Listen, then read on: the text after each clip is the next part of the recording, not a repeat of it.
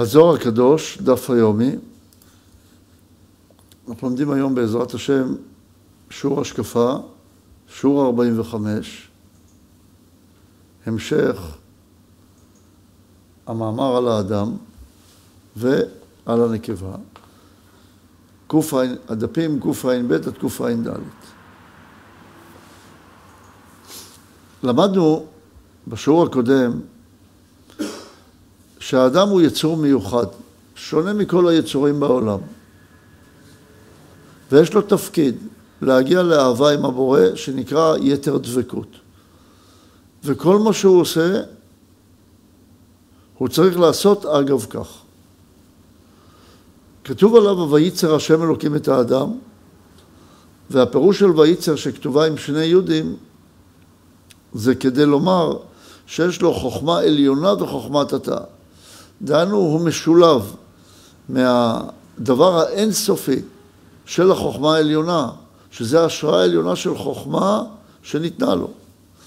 היא אומנם נלקחה ממנו, אבל ניתנה לו גם חוכמת התא, שהוא יכול לבטא את החוכמה הזאת בעולם, דהיינו בכלים של העולם. אז העולם נברא, ויש חוכמה עליונה, וצריך לבטא אותה. אז הדבר שמשלב בין שני הדברים הללו, שנקראת חוכמה עליונה וחוכמת התא, היא באדם עצמו.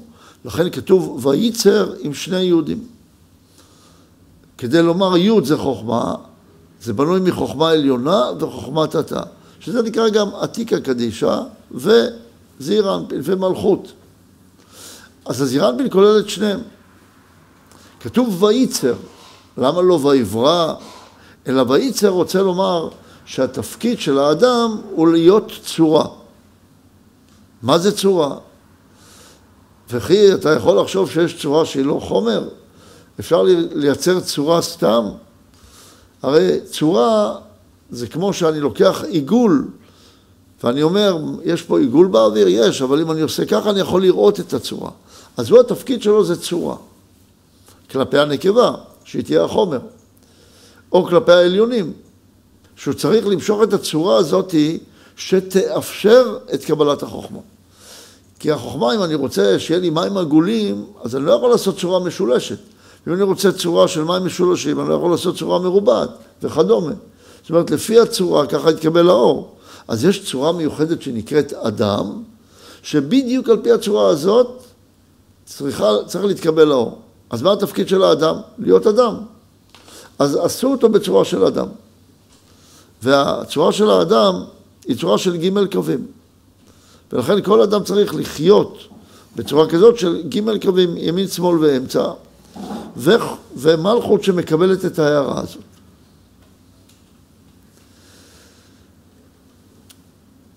אז לקח את האדם ועשה אותו עפר מן האדמה. ויפח באפיו נשמת חיים. למה עשה כל זה? אז קודם כל, מה זה עשה אותו עפר מן האדמה? עפר מן האדמה, עפר זה מלכות.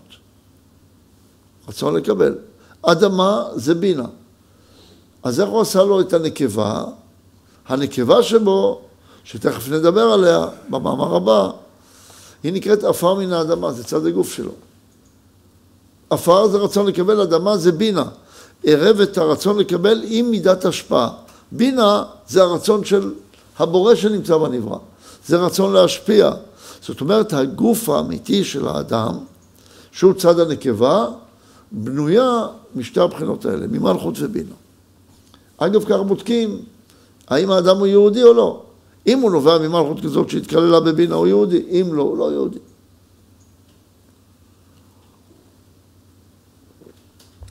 כמו ההבדל בין גוליית לדוד המלך, שגוליית בא מעורפה, שזה לשון עפר, ודוד המלך בא, שהיא לא רצתה להתגייר, לא הלכה עם נעמי, חזרה למלכות שלא מתקללת בבינה, שהיא נקראת נעמי. ורות התקללה בנעמי, שזה מלכות שהיא גם באה ממואב, מלכות שהתקללה בבינה. היא באה ממואב, שמואב זה באה מאב, מהרצון לקבל.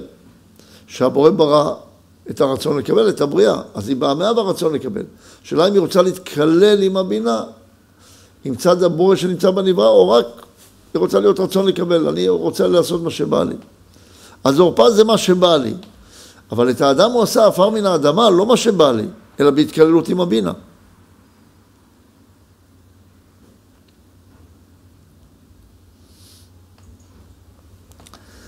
אז אחרי שלקח את העפר מן האדמה, ויפח באפיו נשמת חיים. למה? מה זה הנשמת חיים? כדי להכניס בו את החוכמה העליונה שהיא צורה שנקראת עושר מלא, אבל כפוטנציאל. עכשיו התפקיד של האדם הוא להתקדם לקראת זה. והוא צריך לפעול כל הזמן כדי להגיע לאותו עושר.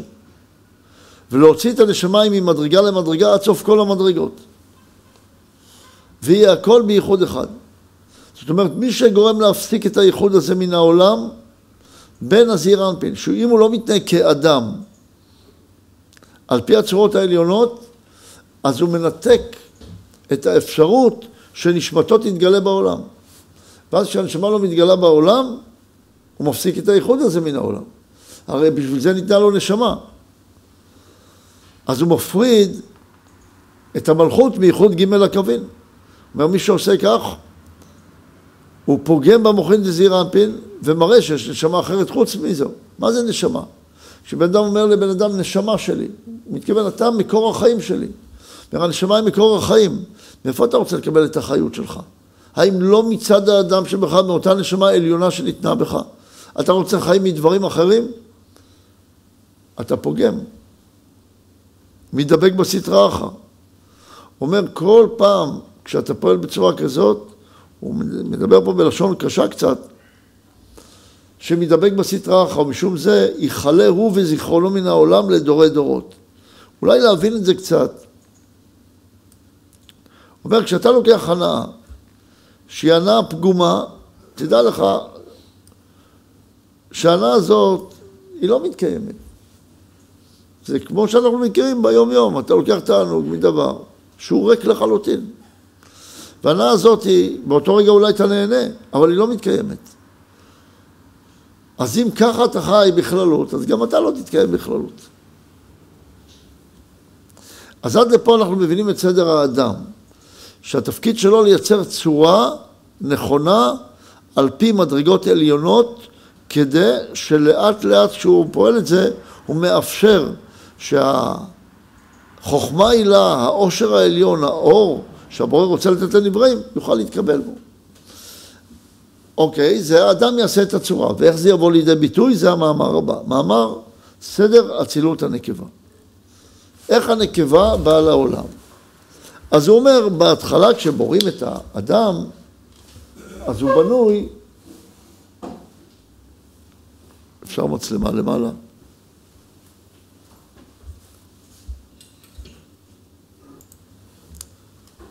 אז הוא אומר לנו כך, אומר לנו שהזעירנפין בצורת האדם הוא התחיל להתקין את הזעירנפין. זעירנפין בנוי כך, בנוי מחב"ד,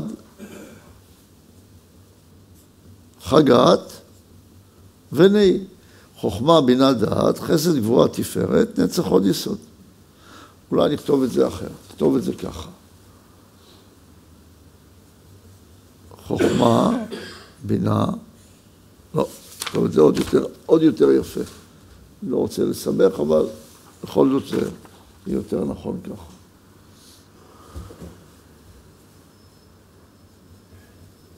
חוכמה, בינה, דעת, חסד, גבורה, תפארת, נצח, הוד, יסוד ומלכות שטמונה ביסוד. כך בנוי האדם. החסד חוכמה, דעת זה ראש.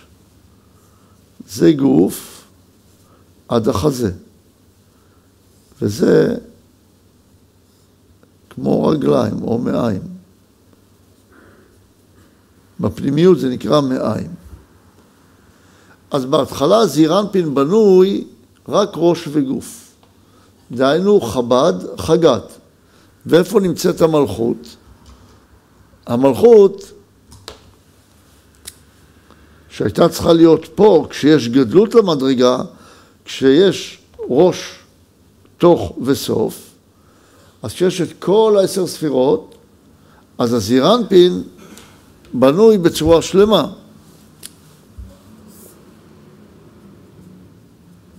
זה הזירנפין, צד האדם, הזכר. איפה נמצאת הנקבה במצב הקטנות? הנקבה נמצאת במצב הקטנות פה.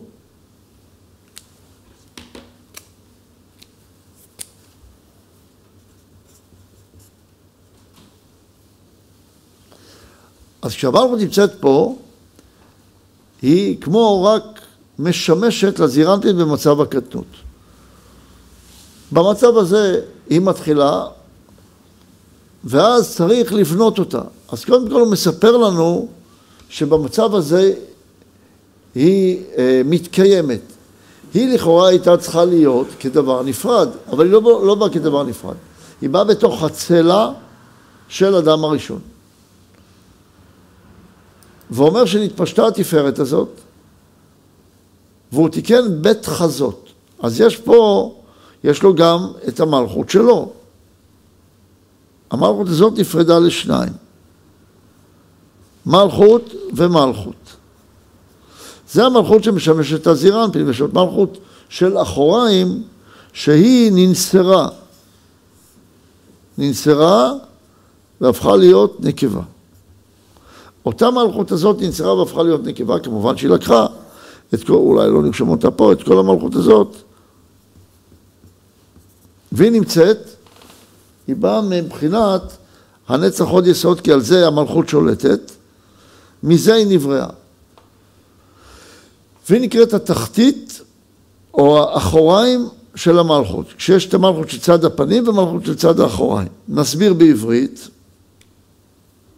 אומר שהאדם הראשון נברא והוא יש לו תפקיד של הצורה והנקבה באה דווקא מה, מהבחינה הזאת של האדם והבחינה הזאת של האדם נפרדה ממנו הצד שיכול לבטא את זה לעולם. אז היא צריכה גם את הצד של העולם שיהיה בה. ולכן היא מהווה את הצורה שבאה לבטא את, ה, את הצורה העליונה הזאת של האדם. אז האדם הוא יותר הצד המופשט, הזכר, שלכן התפקיד שלו הוא ללמוד תורה. והיא ננסרה ממנו, ממקום החזה שלו, כדי, זה נקרא מקום התפארת, אבל מאחוריו, כי אם זה לא היה מאחוריו, אז לא היה מקבל את ה... היא לא הייתה מאפשרת, לא היה מאפשר שהיא תבטא את האדם בעולם. עכשיו, למדנו שגוף האדם בנוי מעפר ומאדמה. מלכות שהתקללה בבינה. אז ככה צריכה להיות בנויה הנקבה.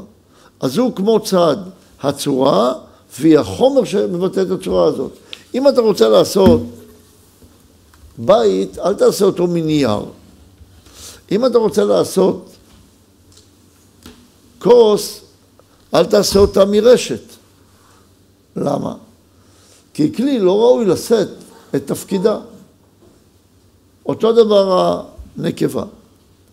אתה רוצה שתהיה נקבה שיכולה להכיל ולבטא את צד האדם בעולם, שהתפקיד שלו כל פעם להביא אור מחוכמה עליונה, והחוכמה העליונה הזאת צריכה להתבטא דרך הנקבה, אתה חייב לבנות אותה כך שהיא תהיה כלולה מתחתונים ועליונים. אז מתחתונים היא חייבת להיות מעפר, ומעליונים מצד הבינה. לכן הצורה הזאת של האדם שאתה רוצה לבנות תבנה מהחומר שנקרא מלכות שהתקללה בבינה. ולכן אין אף אחד מחפש האדם בכל הבהמות. אולי יש איזה חומר שממנו אני יכול לבטא את הצורה שבי. ואין שום חומר אחר, רק צד האישה. אין משהו, למה? כי ממש, היא נובעת מהאדם. ואין דבר יותר גדול לבטא את האדם חוץ מאשר אישה.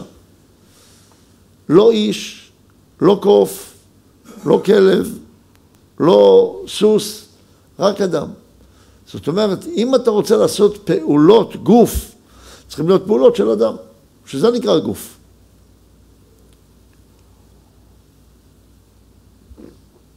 הנקבה הזאת, אם כך, היא בהתחלה, היא מהחור של הפרצוף, אבל כשאומרים מהחור של הפרצוף, יש לזה לכאורה, זה נראה כדבר לא חשוב, אבל זה כמו שאני אגיד אה, שיש למישהו חיטה ויש לחם. הלחם זה ההתבטאות של החיטה. לכאורה הכל נמצא בחיטה. כמו שנותן פרשת תצווה באמת. הכל נמצא בחיטה. אז אם חיטה הוא הכלל של הכל, אז הכי, הכי חשובה. זה צד הפנים שלה. אבל בלי הלחם אני לא יכול לאכול. מה אני אוכל? בלי שידעתי לעשות אותו ללחם. אבל הלחם הוא כמו האגו הזה שמתנפח, ו... כן, אבל הוא מוגש לתחתונים.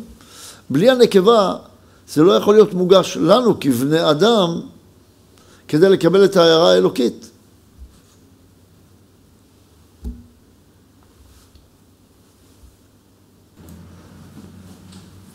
אז יוצא אם כך, שגם אם אנחנו אומרים אחוריים, אז במקום להגיד עכשיו שהנקבה היא צד אחוריים כלא חשוב, נגיד בלעדיה לא יכול להיות ביטוי לאדם ולא יכולה להתגלות חוכמה עליונה, כמו שאומר רשב"י, לזאת עיקר האישה. מה זה זאת? זה השכינה הקדושה. אי אפשר לבנות באמת את העולם בלי נקבה, כי אחרת מה יעזור לי שזה יהיה בשמיים? אני צריך הרי את ההערה פה בארץ.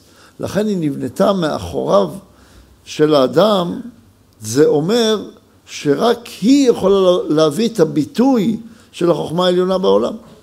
וכראיה רק היא יכולה ללדת. אתה רוצה להמשיך את הבריאה, אתה רוצה להוריד נשמות לעולם, לבד אתה לא יכול. למה? אבל אתה זה שלומד תורה, אתה זה שטמון בצורה העליונה הזאת, נכון, אבל בלי נקבה אי אפשר. אז זה שאנחנו אומרים שאחוריים, זה אנחנו אומרים, היא המאפשרת את הביטוי של אותה חוכמה עליונה. אומר, רק החיבור הזה של שני הצדדים יחד, אפשר לבוא לידי ביטוי. אומר לנו שמהמקום הזה של הנקבה, מהמקום הזה של המלכות שכלולה בחזה של הזעיר אנפין, נבנה רק הראש. בהתחלה נבנה מפה רק הראש. והראש הזה מתחיל להתפתח. ראש זה אומר פוטנציאל. מתחיל להיבנע פוטנציאל ממקום החזה. לכן היא צריכה להיות קשורה אליו, למקום החזה, למקום הלב, משם, ממקום הלב היא נבראה. וליבו של האדם הוא זה שצריך לבטא את האור העליון. יש לה שלבים, היא בהתחלה רק קטנה, לאחר מכן הוא גדל וקיבל את שיפולי המעיים שלו, שיפולי המעיים שלו נקראים נצח עוד יסוד שלו. זה כמו הרגליים, רק בתוך פנימיות האדם זה נקרא מעיים. וכאשר המעיים שלו התגדלו, הוא נהיה יותר גדול, אז היא נהייתה כבר, במקום רק ראש, שזה חב"ד, היא נהייתה חב"ד חגת. ולאט לאט היא הולכת ומתפתחת, לאט לאט היא גדלה. ככל שהוא גדל היא גדלה איתו. כי אם אתה בא לצד הנקבה שלך ואתה בא עם קטנות, אז היא תוותר רק קטנות, תוותר רק שורש. אבל אם אתה בא עם צורה גדולה, אז יש לה אפשרות לבטא אותך כאדם גדול. זה נוגע גם לתוך האדם עצמו, לצד הלב שלו ולצד המוחין שלו. וזה בא גם לתוך היחסים בין זכר לנקבה, בין רב לתלמידיו, בין הקדוש ברוך הוא לעם ישראל, וכן הלאה.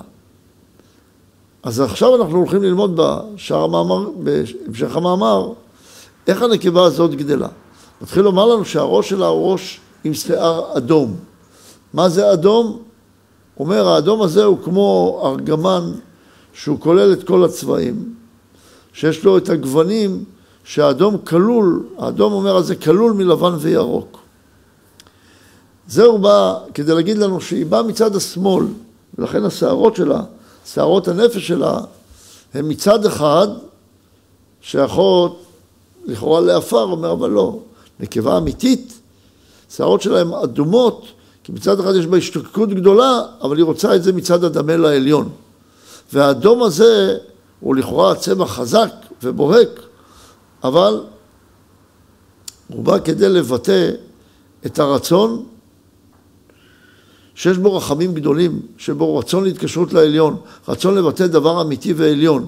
וכשנותנים לצד הנקבה דבר אמיתי, היא רוצה לבטא אותו.